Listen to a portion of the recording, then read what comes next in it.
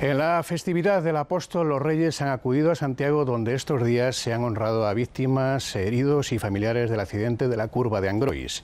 En el sumario están imputados el maquinista y 12 directivos de Adif. La Comisión de Investigación de Accidentes Ferroviarios de Fomento estableció como causas el exceso de velocidad, 179 kilómetros hora en lugar de 80, y la distracción por una llamada al móvil del maquinista, ahora prohibido. También entre las 22 medidas adoptadas se han duplicado las indemnizaciones a las víctimas de accidentes ferroviarios sin carácter retroactivo y se sientan las bases para la mejora de asistencia en accidentes. Informe semanal ha hecho el Camino de Santiago con algunas de las personas que aquel 24 de julio viajaban en el tren Albia. Vivimos con ellas un año en el recuerdo.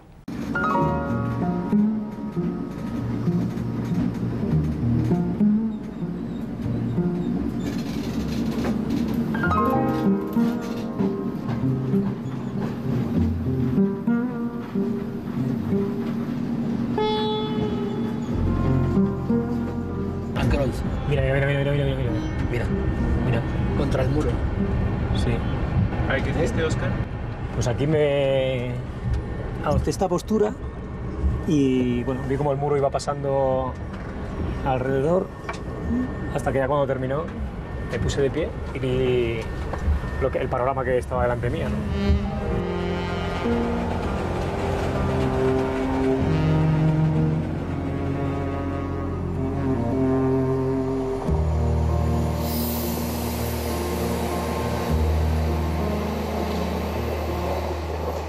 Tiempo intentar sujetar a, a mi novia y, mirar a mi- y buscar con la mirada de mi padre que lo teníamos sentado a, a la derecha y fue cuando ya voy con el tren y ahí se me apagó el interruptor.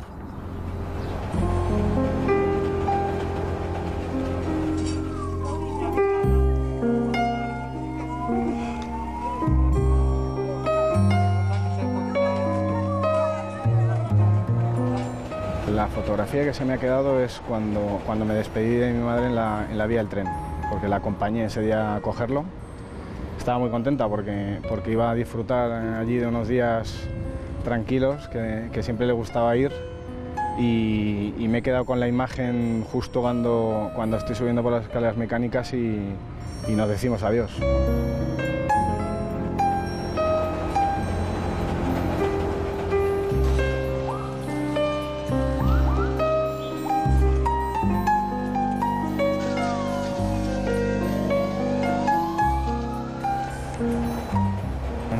Que me quedó de por vida grabada es cuando, cuando llevaba a la niña en brazos, no solo porque fuera la niña, sino por todo lo que, lo que le intenté pues, tranquilizarla, por todo lo que, lo que me contó ella. Entonces quizás de, de muchas otras imágenes más, más fuertes o menos fuertes, pues quizás fue con la, con la que más me quedo. ¿no?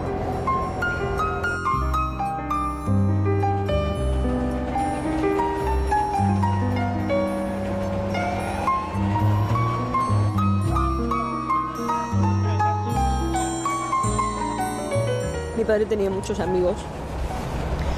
Todos formamos parte de la vida de alguien. Y esto termina siendo una cadena. Y no solamente son 80 familias y 147 heridos.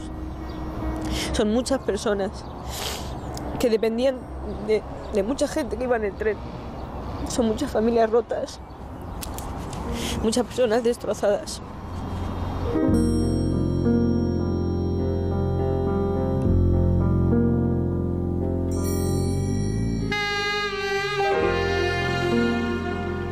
Cada una de las personas que sufrió la tragedia del tren Albia convive con su recuerdo de forma diferente. Un año después, el dolor por esas tremendas imágenes permanece grabado en la memoria de quienes lo sufrieron. la mirada de algunas personas eh, sumergida entre los amasijos de hierro. Esa mirada, ¿no? Fría, en silencio, pidiéndote no me dejes, ayúdame. Los daños psicológicos eso es la de imágenes, o sea, las visualizaciones, ruidos, incluso el olor, ¿no? Que, que aquel día eh, cuando te, incorporas, pues, pues ves, ¿no? Allí lo que ocurrió en aquel, dentro, de aquel vagón. ¿Qué te ocurre después de estos días? Bueno, pues que te tienes eh, sueños que jamás lo has tenido. las patas? Cristóbal y Óscar estaban haciendo el camino de Santiago antes de tomar el tren para llegar a la celebración del Día del Apóstol. Un año después han querido revivir los momentos que marcaron aquel viaje, como este encuentro en Puebla de Sanabria. Hombre, ¿qué tal? Cristóbal, ¿qué tal? Hombre, ¿qué tal? Óscar. Muy bien. Pues bien. ¿Cómo nos alegra verte? Nos vimos en el tren al subir. Sí, sí, sí, sí. sí. No nos habíamos vuelto a ver. Pero bueno, y, hasta ahora. Dios. ¿Y Estrella cómo está? Estrella, pues eh, físicamente, con sus limitaciones, porque como sabes, se partió los, los húmeros, Sí, sí, sí. entonces eh, sigue en rehabilitación. Y anímicamente, deseando que se acabe el proceso de reclamación que parece ser que no se, acaba- se va a acabar nunca. José es el familiar de Estrella, otra víctima de aquel viaje que había llegado desde Argentina para visitar a sus amigos. Coincidieron en este hostal y luego en el vagón del que Cristóbal y Óscar pudieron sacarla con vida.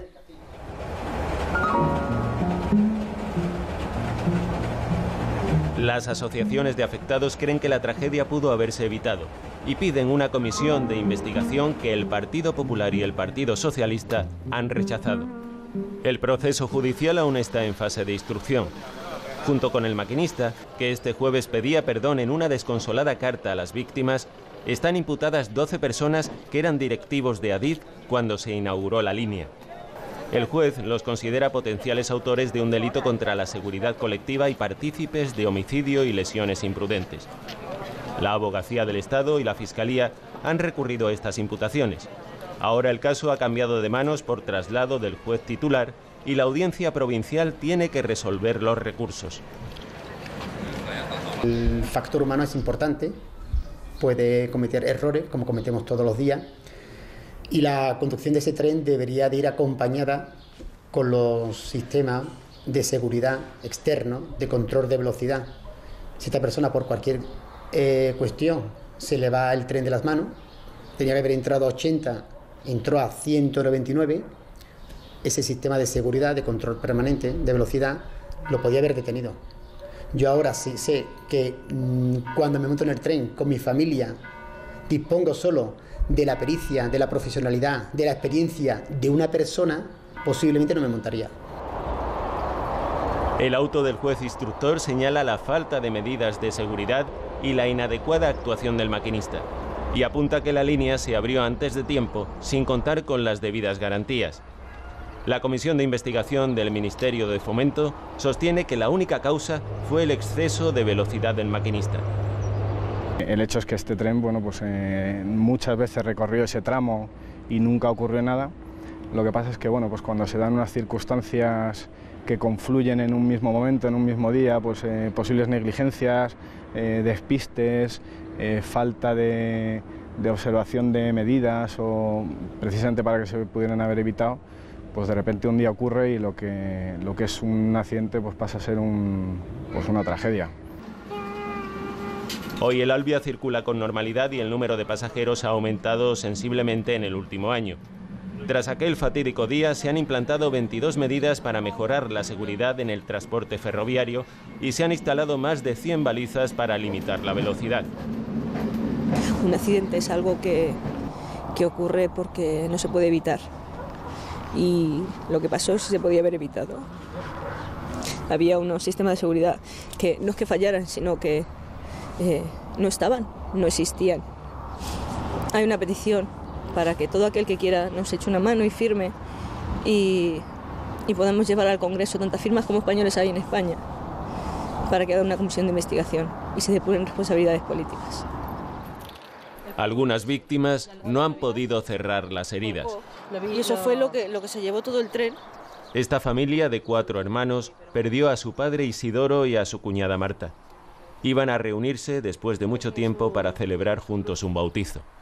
El hermano pequeño sufrió graves heridas en todo el cuerpo. Sobrevivió, pero arrastra secuelas que hacen más duro recordar aquella experiencia. Era un, Un campo de cum- batalla. un cúmulo de, de gritos y de sonidos de móvil y, y de gente yendo y viniendo, pero en ese momento realmente, al menos en mi caso, En un principio no era realmente consciente de lo que estaba ocurriendo, ¿no? Hasta que ya te das cuenta de que lo que está ocurriendo es real y, no tienes otra, otra cosa que, que racionar, ¿no? Por mucho dolor, por mucha cosa que tuvieses en el cuerpo y es lo que, es lo que tienes que hacer. Incluso un año después, cuesta imaginar cómo se transformó esta plaza de Angrois. La tragedia golpeó el barrio y los vecinos han tenido que convivir con ello durante todo este tiempo. Son la cara visible de una ola solidaria que encarna lo mejor de las personas en los peores momentos. En el momento que llegamos aquí, ver cómo una cantidad de gente enorme se pone a trabajar sin que nadie les diga nada, sin darle, sin, sin órdenes y todos actuando en una cadena humana como si lo estuviéramos haciendo esto todos los días, eso fue lo que más me quedó a mí grabado en la, en la cabeza. Y me acuerdo mucho del último que estaba esperando a donar sangre, en aquella cola de muchísimos, de miles de personas creo. Y me acuerdo en el último, porque el último, su intención era la misma que la nuestra, era ayudar a quien lo necesitaba. Llevamos más de 60 años conviviendo con la, con la vía. Antes éramos nosotros los que bajábamos a la vía y ahora cuando estaba más segura vino el tren a buscarnos a nosotros. Pero es una, llevamos 60 años conviviendo con ello y tampoco cambia. Los dos primeros meses quizá había un poco de recelo, pero ahora la gente ya se sienta en los tres bancos, ya pasea, los niños ya juegan aquí. La vida, o sea, esto se, lo hacemos como cuando te muere una persona. Guardas un pequeño periodo de luto pero la vida continúa y eso es lo que hacemos nosotros, continuar. Con las prisas por embalar las bicicletas no perdieron el tren por cuestión de segundos. Subieron al vagón en la estación de Puebla de Sanabria. Cristóbal, militar prejubilado, y Óscar, profesor y guardia civil en excedencia, iban en el coche número 9, uno de los que se empotró contra el muro. A pesar de sus heridas, se quedaron para ayudar en las tareas de rescate lo complicado fue que el, que el vagón al estar inclinado eh, era difícil moverte por él, porque lo mismo pisabas por un sitio, había uno, pisabas, había otro, y bueno, pues por la puerta, por el boquete que se hizo atrás, que, el, vagón siguiente se les pegó de, de este vagón durante unos 10 o 15 metros, pues por ahí fuimos sacando gente. Coincidiendo con el aniversario de la tragedia, la Junta ha entregado la Medalla de Oro de Galicia a los afectados y a los colectivos que colaboraron en el rescate. Los vecinos de Angrois agradecen la distinción, aunque han preferido ausentarse para no restar protagonismo a las víctimas en un día tan señalado. Hace exactamente un año, la irracionalidad humana nos puso al borde del abismo. Los espíritus de los que nos dejaron habitan ya los inmensos bosques de lechos, se regocijan en las corrientes de los ríos y sueñan sobre las espumas de las olas. Que Dios los tenga en su gloria. Con estas palabras, la Asociación Mayoritaria APAFAS agradecía el reconocimiento. Mientras una parte de los afectados agrupados en la plataforma de víctimas del Albia, que han rechazado la medalla, se concentraba en protesta por lo que consideran falta de colaboración de autoridades y políticos. La primera mentira que nos dijeron, que es que el tren, cuando lo inauguraron, era un tren con toda la tecnología punta y que era un tren con la, seguridad mejor del mundo. Y resulta que era un tren que de alta velocidad, lo único que tenía era la velocidad, pero no cumplía ni una de la normativa de la, que, exige la Unión Europea en seguridad ferroviaria. La tarde del jueves llegaba el momento más emotivo, con los sentimientos a flor de piel, voces que reclamaban verdad y justicia, y 80 rosas blancas, una por cada una de las personas que perdieron la vida en aquel viaje.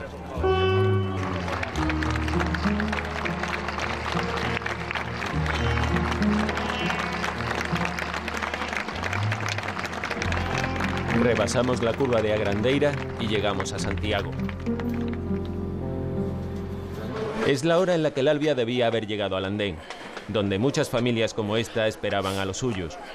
Un momento en el que el recuerdo se hace más grande y también más doloroso. ¿Cómo estás? Hola, ¿qué tal? Bienvenido. Gracias. ¿Cómo estáis? Bueno, difícil. Sí. Para que ha perdido una persona jamás no puede volver hacia atrás, ¿no? No, porque, a ver, los recuerdos están siempre presentes. Es la familia de María Patricia. Tenía 30 años. Viajaba desde Madrid, como tantas otras veces, para pasar con ellos la fiesta del apóstol. El padre esperaba puntual en el andén hasta que supo que el tiempo se había detenido. Echamos toda la noche buscando, bueno, recorriendo hospitales, nosotros, sus amigas, eh, todo el mundo. Eh, cada cierto tiempo iban dando listas de heridos y fallecidos y no salía ninguna lista hasta que, bueno, al día siguiente en el CERSIA ya, pues ya nos dijeron la noticia que ya casi esperábamos, porque ya no contábamos mucho con, que apareciese. Y, que, se, que se haga justicia y que no le carguen el muerto a los muertos a, a una sola persona y, y nada más. Ellos ya no vuelven, pero por lo menos que no vuelva a pasar eso.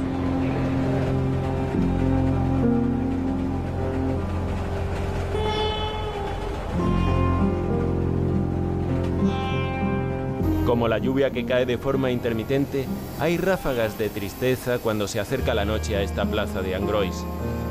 El tren pasa ahora más despacio, pero la imagen está ahí, grabada en las paredes y el suelo, en la cruz que recuerda a las víctimas, en la memoria de quienes tuvieron fuerza para sobreponerse a escenas durísimas y socorrer a tantas personas. La rutina regresa lentamente a este pequeño barrio en el que todo parece igual, pero donde ya nada es lo mismo.